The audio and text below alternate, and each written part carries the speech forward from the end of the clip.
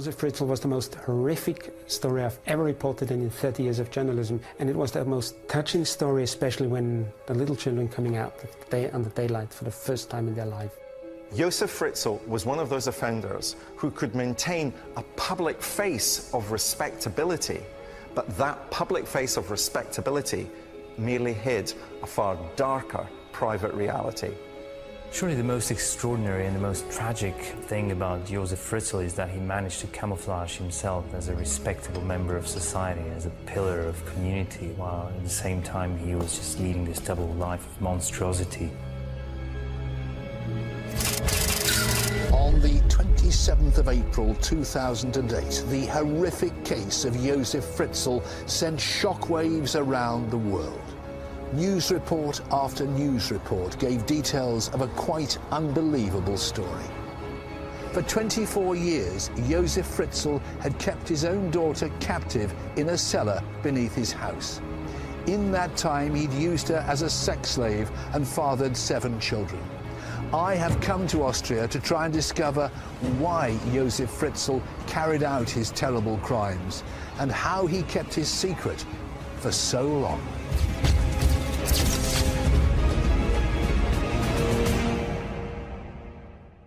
I'm standing here in the heart of Vienna, the capital city of Austria. Here in 2008, the world learned the gruesome details of Josef Fritzl and what he did to his young daughter.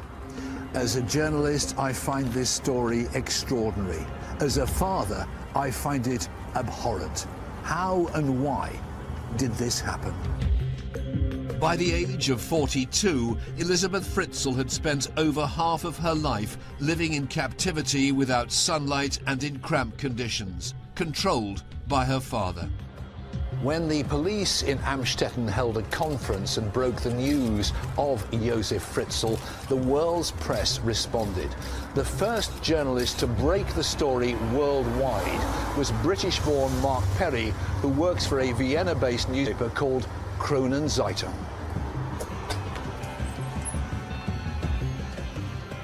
Tell me about the impact in Austria when, when the story of Josef Fritzl broke. Uh, it actually was a tremendous impact. People were shocked, flabbergasted. Nobody could believe it. Nobody the, in the whole world could believe it. But people, especially in Amstetten, the neighbors, the police officers, all of them. From the point of view of the criminal police, the missing person case, Elisabeth Fritzl, can now be deemed as solved. Nevertheless, police investigations will be continued. Where were you at the time? I was in the Waldviertel with my kids. Got a phone call uh, by my editor-in-chief. He just told me, we've got a big case um, unfolding here. I said, ah, big case. It's about Fritzl. I said, yeah, because Elizabeth, she left her children on the doorstep. And he said, no, it's worse, it's worse, it's worse, it's worse. Off I went to Amstetten, and that's where I spent about two weeks. Josef Fritzl had made world headlines. He was born here in the somewhat unglamorous town of Amstetten in Austria on the 9th of April 1935. And it was this town and the house in which he lived that were to make world headlines in 2008. Well, I'm joined here in Austria by Professor David Wilson, Britain's leading criminologist, who's helping me to uncover the real facts behind the headlines. David Wilson, who was Josef Fritzl? You'd imagine in this very ordinary town that Josef Fritzl was going to have a very ordinary childhood and life. In fact, his childhood was extraordinary. Josef Fritzl's childhood is dominated by his mother and his grandmother. Josef's grandmother, Anna, is born also in Amstetten, but marries a mill owner. The grandmother and the mill owner were in a very loveless relationship because his grandmother, Josef Fritzl's grandmother, couldn't have children. So the mill owner resolved that particular problem by having a child with three different servants working in his household. One of those children that he had by a servant, therefore out of wedlock, was Maria, Josef Fritzl's mother. The family all lived at 40 Ybbstrasse. In 1934, Fritzl's mother, Maria, met a very poor man called Josef and became pregnant. The baby boy was also named Josef. He was given his grandmother Anna's maiden name, Fritzl, ignoring his grandfather and father's involvement. On the 12th of March 1938, when Josef Fritzl was nearly three years old, Hitler's troops marched across the border into Amstetten. Hitler himself followed a few days later to be greeted by a large crowd. Young Josef Fritzl was in that crowd, perched on the shoulders of his father to greet the Fuhrer. Bojan Pancevski is a European correspondent who has studied Josef Fritzl's early life. I'm going to meet him. Would it have been difficult at that time in Austria for a child born out of wedlock? Most certainly, yes. I think until very recently it would have been a difficult experience. The child would have been stigmatized by that experience in the local community. In 1938, 99.7% of Austrians voted to become part of the Third Reich. But young Josef Fritzl's mother didn't always conform to the ways of her new leaders. She had a feisty temper and angered the Nazi authorities. During the Second World War, she was arrested and interned to a concentration camp where she spent a few months and um, Josef was left on his own, so that must have left scars on, on the young boy's psyche. Nine-year-old Josef was sent to an orphanage during this period and told that his mother was dead. Only as the war ended did he realize she was still alive. Young Josef's father had joined the German army and fought on the Eastern Front until he was taken prisoner by the Russians. He was released in 1948 and returned to Amstetten, where he was shunned by both the boy and his mother. After the war, Fritzl's mother became even more eccentric and aggressive. Her discipline towards her son grew more violent. Fritzl's mother was not a loving mother.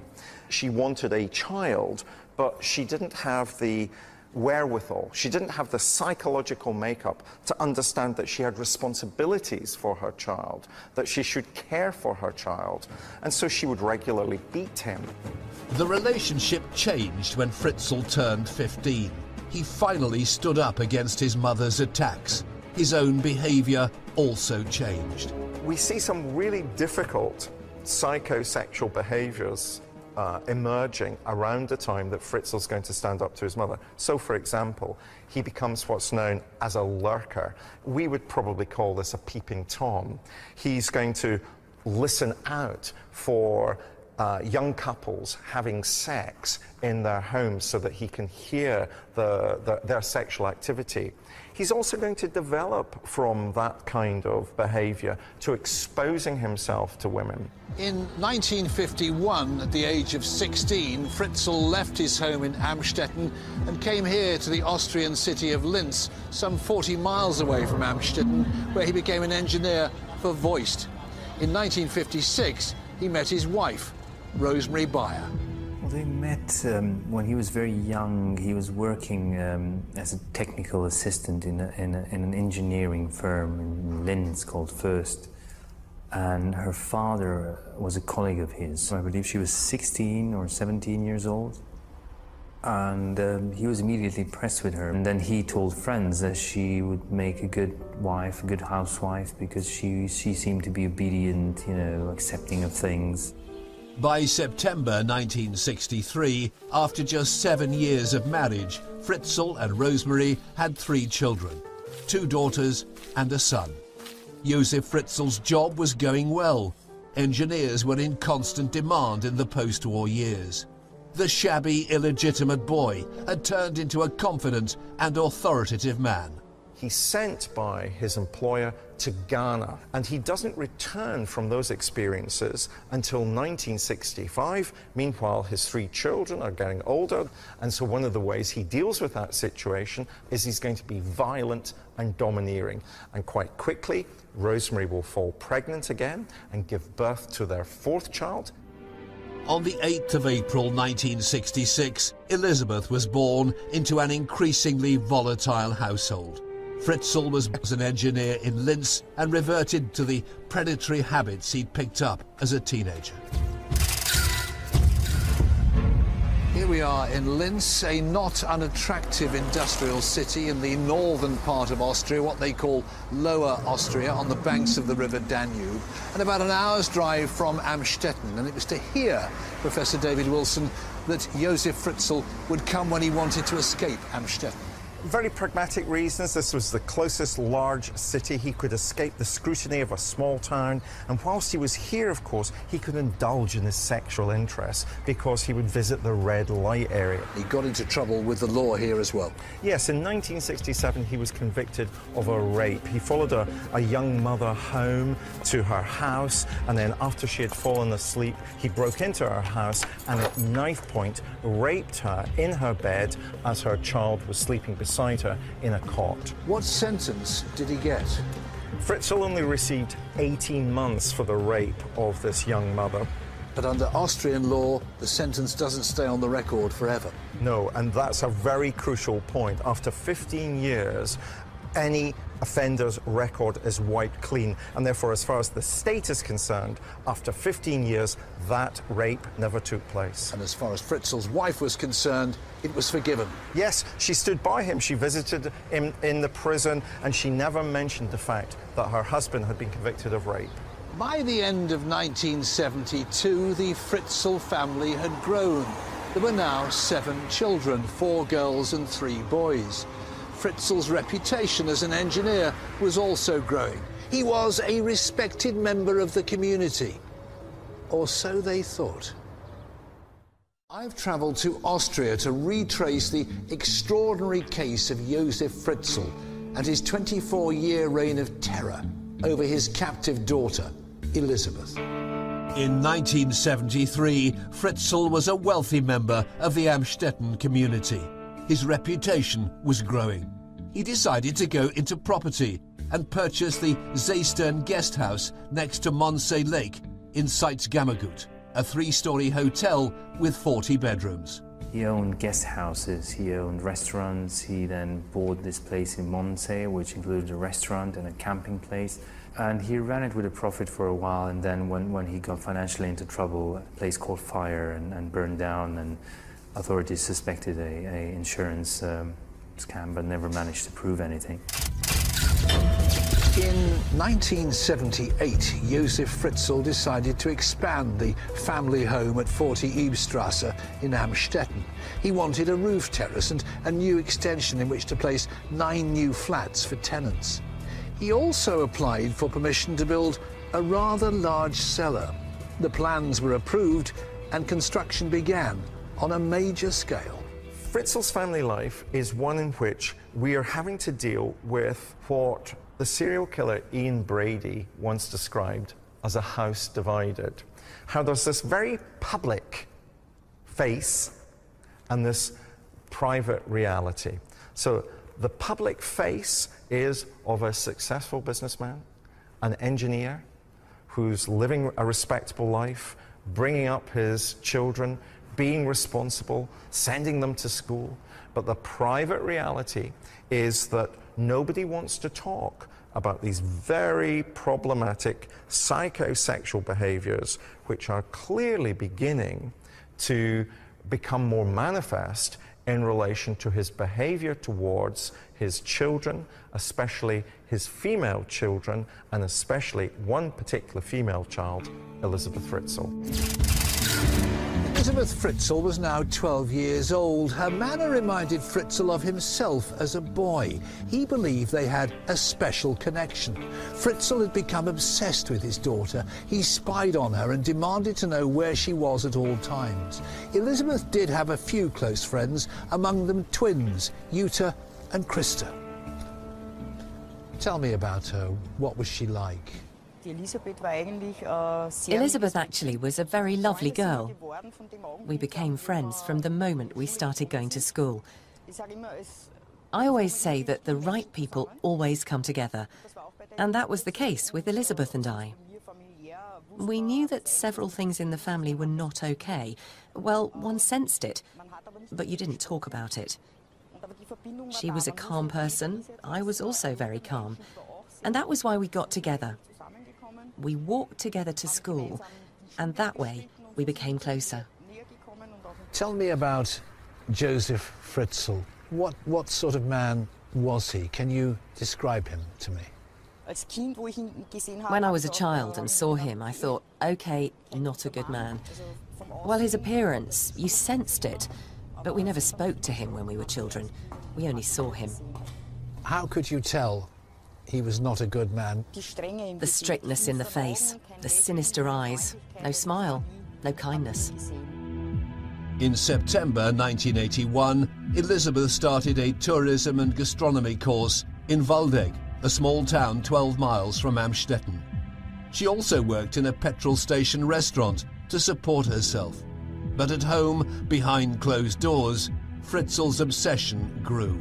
In effect, what was happening to uh, Elizabeth Fritzl in private was that her father was exposing himself to her, leaving pornographic magazines under her pillow, and was uh, beginning to sexually abuse her. Did Elizabeth ever speak to you about her father and what her father was doing? Nein, äh, wirklich gesprochen hat sie nicht. No, she didn't really speak about it. Also, it was forbidden. I realized that it was forbidden for her. What happens at home stays at home and is not brought outside. That's why she was a very calm, quiet person. The construction work at the family home was developing. Fritzl had built a labyrinth of rooms beneath the new extension. The flats above were rented out to tenants but had a high turnover, so nobody asked any questions. On the 28th of January 1983, Elizabeth ran away from home. She left her home when she was still underage but then she um, there was a warrant sent out obviously because she was a minor. So she she got uh, found by police in Vienna and they called her father and they drove all the way back from from Vienna to Amstetten. And uh, and in the car already he promised her that he will never let her run away again which must have sounded like a terrible sentence to her at the time. By the summer of 1983 the cellar was completed. It had lighting with many interconnecting rooms it was to be used for storage and as a workshop. He has been desperate to control that space since he was a boy. So he upgrades it, he uses his building skills, he uses his engineering skills, he uses his contacts in the building trade to be able to redecorate, to redesign, cutting up the space in a way that would allow him the maximum control of that space. In May 1984, Elizabeth Fritzl announced she was going to move in with her sister in nearby Linz. Now, you see, here we've got a problem for Fritzl. He likes what he's doing to Elizabeth. He does not want to lose Elizabeth, whom he's been sexually abusing. He wants to control her. He wants to dominate. Elizabeth has revealed to him her escape route. I'm going to leave here. I'm leaving this space. There could be a sense in which Fritzl himself might have been worried that once she was out of that private space, she might publicly talk about what had happened to her. So this is a crisis point for him. He has to stop Elizabeth Fritzl from leaving 40 Ybbstrasse. On the 28th of August 1984, Josef Fritzl lured Ada into the cellar of the house, drugging and handcuffing her before incarcerating his own daughter. He has some ruse about carrying a door down to the garage. And then once the door is in the garage, he says to Elizabeth, Oh, come into my study. I want to talk about something privately with you. She goes into his study, and whilst her back is turned to him, we now know that he used a chloroformed uh, infused rag to cover her face to knock her out. He's then going to carry Elizabeth's body into this hidden space that, uh, as far as the authorities are concerned, doesn't exist. And that hidden space contains simply a bed, uh, a TV, a video, and he chains Elizabeth within that space. Fritzl forced his daughter to write a letter saying she'd run away and joined a cult. He then drove 100 miles out of town to post the letter. When did you first report on anything to do with the Fritzl family? Uh, that was, I think, in 1984, was it 85? That's when I got the call from the local police station in Amstetten and they asked me, please put a picture of, of Elizabeth in the paper. We're looking for her desperately.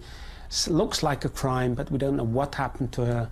And that was the first ever item on Elizabeth Fritzl that was ever published worldwide. Josef Fritzl had said, my daughter has run away She's to join run a cult. away. We had an anonymous phone call, although we had a secret number, but she said, ah, yeah, I was phoned and she's in a cult, and dad, I'm not coming back home. And in reality, she was downstairs and being raped and on a dog's leash, and yeah, that, that, that's when I first reported. Fritzl kept his daughter in the secret cellar. He'd beat her, torture her, and rape her repeatedly. Elizabeth Fritzl inevitably is going to become pregnant because her father is raping her on a recurring basis. The first child that um, she has miscarried. So the first child that's actually born is in 1988, and it's a girl, a girl called Kirsten.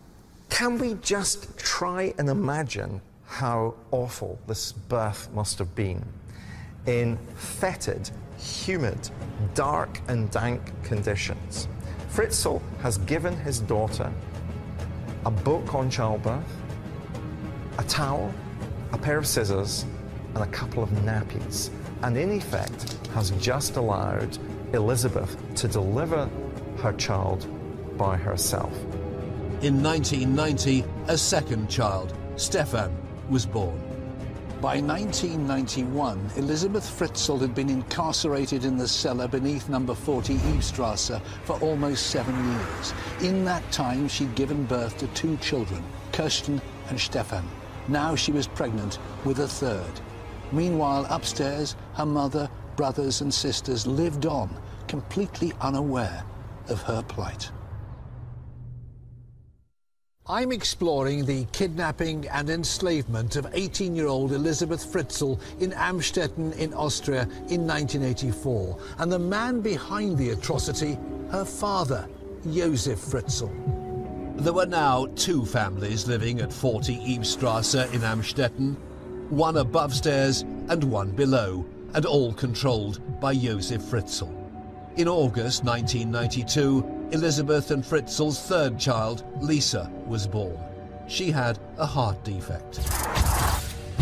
Pragmatically, I think Fritzl is worried that the so called sound proofed cellar is not going to be able to cope with a small baby who is constantly in pain and therefore constantly crying. And one can also presume that Elizabeth herself is saying to her father that there's something wrong with the baby and he has to take action. And the action that he takes is that he puts Lisa on their doorstep of 40 Ybbstrasse with a note which again Elizabeth has been forced to write, saying this is her daughter, would her parents please look after the little girl. The little girl is found on the doorstep and brought into the household. Baby Lisa had emergency surgery to correct the heart defect and began life with her grandparents, Rosemary and Josef. Downstairs, the children had grown considerably and the cellar was becoming cramped. Fritzl started converting more space for Elizabeth, Kirsten and Stefan. Fritzl is beginning to try to normalize this downstairs life. So he's moving in refrigerators, he's moving in things that uh, the, the, the children downstairs might want to play with. There's a television there, so they're aware of what the outside world is like. They have pets, there's a goldfish, there's a canary. But Fritzl is responsible for everything that goes into that space. On the 16th of December 1994, a second child arrived on the doorstep. Another note was found from Elizabeth saying the baby was called Monica. Lisa and Monica were adopted by their grandparents. British-born reporter Mark Perry ran the story of the second baby in the newspaper Kronen Zeitung. When the babies were dropped on the doorstep, two of them, mm, the police constable phoned me again because I have good contact with them, and he said, "Yeah, we have this funny case and." And baby lying in front of the door, and we have no suspicions. But where's the mother? We've got to find the mother because they, the children, they want to grow up with a mum, with a real mum. And granddad is looking for her, and he was all the desperate father. Oh, the hell, where is she? I hope she's not been murdered or anything like that. No crime committed. Elizabeth, please, please, please phone us. As every parents who have a, uh, a child going missing, because you never know what happens murder case, kidnapping. And he put forward the story later. Oh, she's in a cult somewhere, satanistic cult, all with devils and what's her name, and, and all in his sick mind.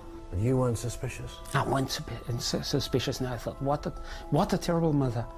And, and I, I feel sorry for that now, because calling Elizabeth a terrible mother, but in a way, I'm not to blame because everybody believed it. On the 28th of April 1996, Elizabeth Fritzl gave birth to twins, Michael and Alexander. Josef Fritzl had now fathered six children with his own daughter. Michael is very sick, has breathing difficulties, and Fritzl, in effect, allows the little boy to die. What Fritzl does with Michael is burn him in the furnace of the house. So he destroys the body. That leaves the second little boy, Alexander. And again, I think simply pragmatically, Fritzl can't take the risk of Alexander dying. So here's a third foundling that's left on the doorstep of 40 Ybbstrasse. This is the main street in Amstetten, a small town in Lower Austria. And this is the house where the Fritzl family lived, 40 Ybbstrasse. Professor David Wilson, it is so ordinary, it's just a typical everyday Austrian scene. You cannot believe it. yes, you? the banality of evil is a phrase that comes to mind. Amstetten, a very quiet town, but look, this is a very busy street. And yet Fritzl would have us believe, would have the Amstetten authorities believe, that three babies could be left on a doorstep with nobody noticing. Elizabeth Fritzl spent all those years in a cellar at the back of this property. How did she survive? Well, I think the only way we can explain that survival is her own personal resilience and then the psychological concept of the Stockholm syndrome, whereby the person who's been taken hostage learns to accommodate the hostage taker. In other words, if the hostage wants to survive that experience, they have to do basically what the hostage taker wants them to do. And Fritzl made her frightened to try and escape. Absolutely. Part of the Stockholm syndrome is making the hostage feel as if there is literally no escape. He convinces Elizabeth that there's gas traps, that there's uh, electronic doors, that there's no way anybody can hear her cry. It's part of the process of controlling her in that space. Josef Fritzl had control over two families his upstairs life and his downstairs secret. But this still wasn't enough. Work trips provided him with more opportunities and left Elizabeth completely alone in the cellar with her two children. He would often be gone for a few weeks at a time, and, and during that time, the family would be left to their own devices. Uh, I mean, there would be enough food and water for them to survive, but of course, anything could have happened. There could have been a fire, there could have been you know, a case of illness, you know, they would have, they could have been an emergency. He didn't seem to much care about that. He would just leave them without any contact to the outside world and then just come back three weeks later after a, a nice little holiday in the sun. By December 2002, Elizabeth Fritzl had been incarcerated for 18 years in the cellar beneath the house. 14-year-old Kirsten and 12-year-old Stefan had never been outside the cellar. They'd never seen the sun. Elizabeth gave birth to a final child, a boy called Felix. Interestingly, there's a kind of mirroring going on here. Fritzl has seven legitimate children, and Fritzl, with the birth of Felix, has seven children through his incestuous relationship. So there's a sense of mirroring. And, I, and because he's so fond of Felix and wants Felix to inherit his, his world, you begin to see Fritzl trying to manage that process. How do I get this downstairs family integrated with the upstairs family. And part of that's pragmatic. He wants Felix to go to school. He realizes he can't send uh, Felix to school, and perhaps even by this stage, Fritzl had realized there can't be a fourth foundling found on the doorstep. Fritzl started to make plans to free Elizabeth at the end of 2008. But in the middle of March that year, 19-year-old Kerstin became seriously ill. The only medication at their disposal was aspirin, so she had been given aspirin for weeks, but obviously didn't help. And um, Elizabeth managed to convince Fritzl to take Kerstin to the hospital. And this was probably the first time in those 24 years where she really put her foot down. She was adamant that she would just not go on if he would were to allow Kerstin to die, which, which was probably what would have happened. On the 19th of April 2008, Elizabeth helped her father carry Kerstin upstairs before returning to join Stefan and Felix. The doctor at the hospital, Dr. Reiter, needed more medical information, but without the mother, no one could answer his questions. So a television appeal went out looking for Elizabeth, which Elizabeth saw on her television in the cellar. Elizabeth's world changed forever on Saturday, the 26th of April. Elizabeth persuades Josef that she has to go to the hospital to explain what's been happening to Kerstin. And therefore, uh, Josef takes Elizabeth to the hospital. Dr. Reiter interviews Elizabeth, tries to get as much information as possible. And once that interview is finished, the police arrest Elizabeth, take her into a room, and begin to interrogate her. And it's only when they threaten to take away her children that Elizabeth reveals for the first time what Josef Fritzl has been doing to her, and the police arrest Josef Fritzl, and the game is in effect up. Fritzl freed his other two children, Stefan and Felix, at the same time as releasing Elizabeth. What condition were they in, as far as you know, when they were released? Well, they were in a very bad condition at the time of their release. Um, I mean, you have to know that Fritzl kind of did try to provide as much as care as possible for them. He, he, he brought them vitamin supplements, he, he, he brought them lamps uh, uh, because of the vitamin D deficiency, you know, they were never exposed to the sun and so on. But they were in, a, in, a, in extremely bad condition, obviously. They, they, um, their, their skins were all pale, they had all sorts of infections because of the filth, uh, of, of, of, the humidity of the place where they lived. It was, it was infested with bacteria, with insects, and so on. By Sunday, the 27th of April, news of Elizabeth's 24 years of enslavement had spread.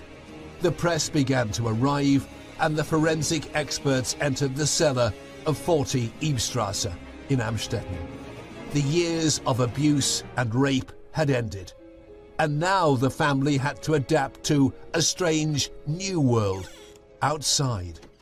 I'm reinvestigating the horrifying incarceration of Elizabeth Fritzl by her father Josef and Austria's reaction to his brutal actions.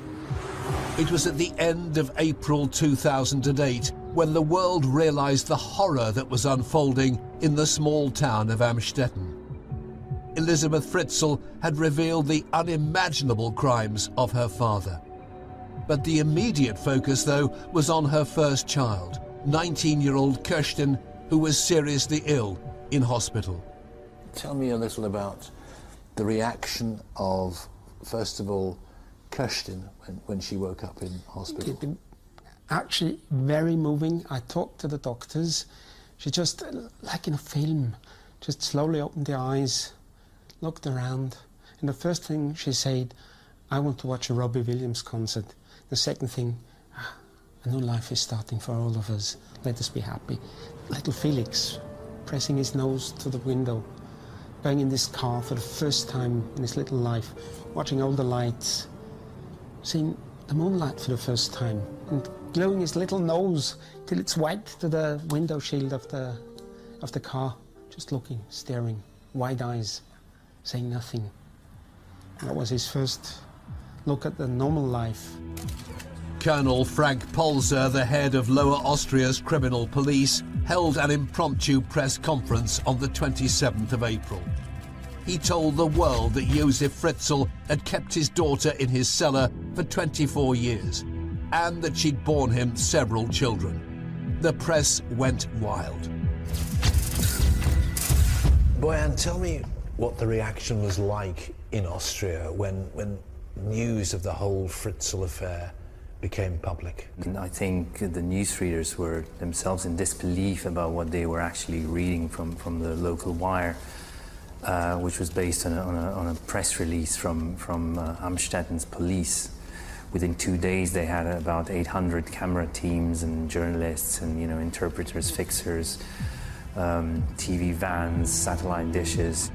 It is our duty to investigate the concurrent circumstances which made it possible that such crime, which shocked all of us deeply, could happen. In Austria, there was a there was a huge backlash against uh, the international coverage, and part of it was justified because you know, um, especially tabloids from the English-speaking world were very intrusive because they were hungry, they were demanding images from the family. You know, they were demanding details of the ordeal, and um, and the family refused. Elizabeth refused, and she refuses to, this very day to be photographed to speak to anyone. You know, she doesn't want her story told by herself or the family. She doesn't want them to be in the spotlight. Following his arrest, the authorities ordered a psychiatric evaluation of the 73-year-old Josef Fritzl. Was he insane or was he suffering from a deep-rooted, profound personality disorder? Dr. Adelheid Kastner was asked by the courts to assess Fritzl's reasons behind his actions. Was this the most awful case you have been involved with yourself? You can't really imagine what 24 years mean. You can't. I remember I was standing down there in the cellar and thought, well, they were down there for 24 years. So now I try to imagine what that means. And I thought, well, where, where have I been 24 years ago and what happened in this time? And it feels like forever. It feels like endless. Is it possible for you to paint a picture for me of, of what the cellar was like? It was quite a mess with all kinds of machine parts lying around and, and the writing desk and and it was a, a rabbit warren of rooms, of cellar rooms. Yeah? And in the far corner was a, a cupboard. And behind that cupboard was a, a door that was one meter per one meter. And it was a metal frame filled with concrete, like that. And you had to creep through it because it was only one meter high to go on your knees. And then you could, behind the door, you could stand up again, and it was a, a corridor. It was leading to another door like that. You had to go down on your knees again, and then you came to a kind of provisions room, yeah, where you had shelves and a fridge. And then you came to the living quarters. Yeah. From there on, the, the doors were relatively normal. And the rooms were so that I could stand there, could easily stand there. And it was humid. It smelled rotten. It was not a nice place to live in. On the 16th of March 2009, Josef Fritzl was brought to trial here at St. Pölten, the capital of Lower Austria. He was charged with rape, enslavement, incest, and the murder of one of the children he'd conceived with his daughter, Elizabeth. At first, Josef Fritzl entered a plea of not guilty. What was his demeanour at the trial? He was polite. He answered the questions. Was sitting there like a stone. Huh? But he changed his plea when he saw Elizabeth. And he had to listen to her. Uh, he couldn't close his ears. Yeah? He had to listen to what she was saying. And what she was saying was quite another story than he was telling. And she was telling about how horrible the time was and, and had been, and how, how brutal he had been, and how, how horrible the time was. Yeah? And that she did not at all feel like.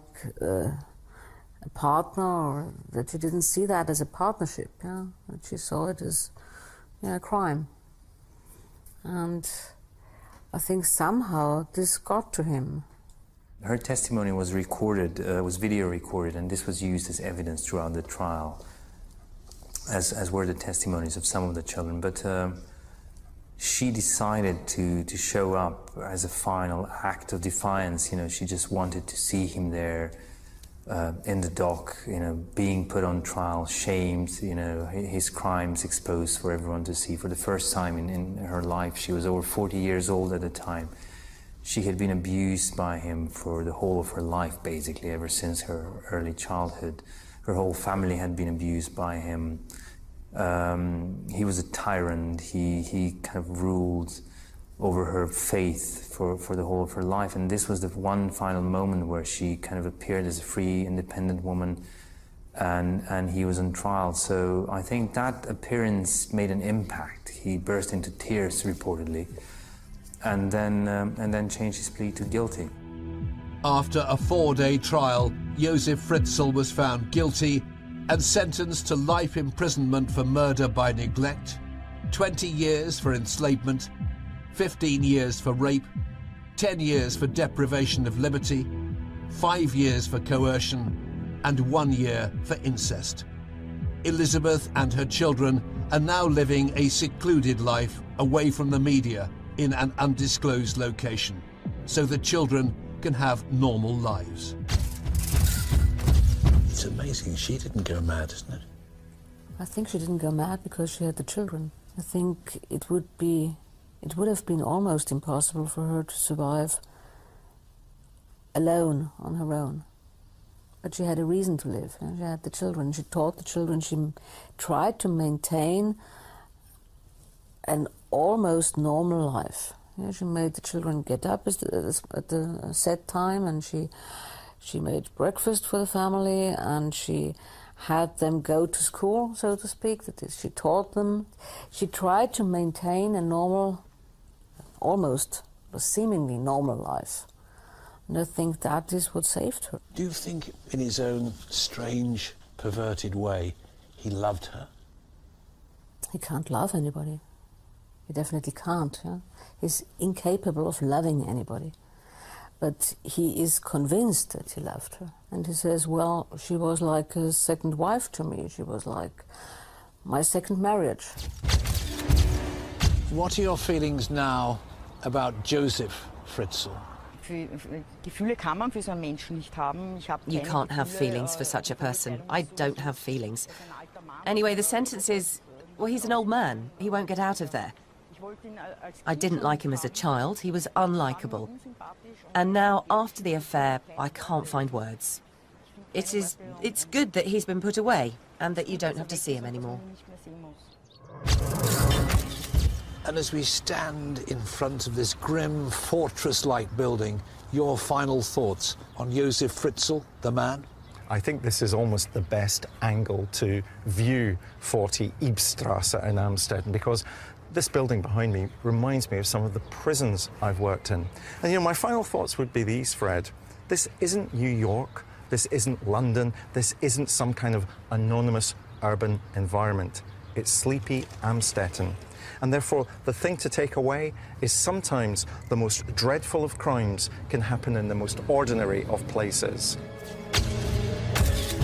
For me, the case of Josef Fritzl is one of the most shocking ever. The word cruelty doesn't begin to describe the torture handed out to Elizabeth and her young family by their father. How any father could commit such a crime is beyond me. Justice, of course, has been served. Josef Fritzl will die in prison. But for Elizabeth and her children, the scars will last a lifetime. Was the murdered woman the victim of a dangerous obsession, a classic love triangle, or something altogether more sinister? Brand new, unusual suspects is next.